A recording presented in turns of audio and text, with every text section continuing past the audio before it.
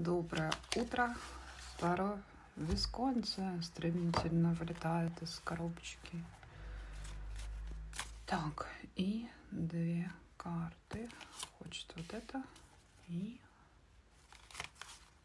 две. Слушайте, а у меня третья карта лезет. Вот к этой карте хочет эта карта. Интересно. Ладно, давайте, чтобы этой карте было не обидно.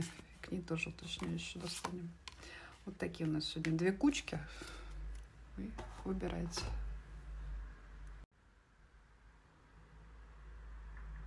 Так, давайте смотреть, что у нас здесь получилось. Первая карта, и к ней выскочила у нас внезапно уточняющая.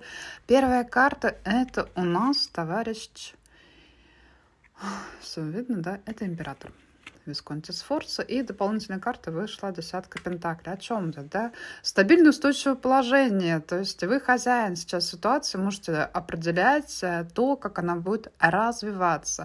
То есть у вас достаточно силы уверенности, чтобы строить э, вот реальность вокруг себя так, как вы хотите. Насаждать свои законы, строить свою империю. Десятка пентаклей говорит о, также о стабильности, о поддержке семьи, о достаточно большом количестве ресурсов, которые у вас сейчас имеются. Либо могут поступить.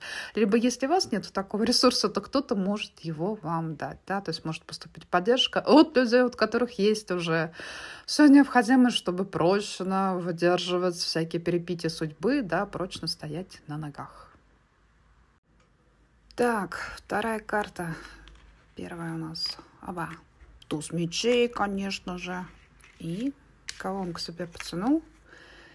Пятерка жезлов, ну, замечательная на контрасте, да, то есть туз мечей он тоже борется за положение, за стабильность, но приходится активно вот рубить, да, отрубить, отрубать лишнее, отсекать второстепенно какие-то задачи, которые вас сейчас отвлекают и мешают, да, и бороться вот с этим хаосом по пятерке жезлов, потому что пятерка жезлов всегда это дисбаланс, если император десятка так стабильность, комфорт, уют, порядок, закон, да, то вот это вот сочетание, да, навести порядок вот в том вот не разбери неразберихи, вот дисгармония, дисбаланс, который вас сейчас разносит, мешает, да, то есть либо это люди вокруг вас мечутся, или вам приходится там вторгаться, внедряться в какие-то вот другие социумы организации, и там вот получить те блага, которые вам сейчас необходимы, и приходится, да, вот выстраивать жесткие отношения, чтобы наконец-то добиться своей цели.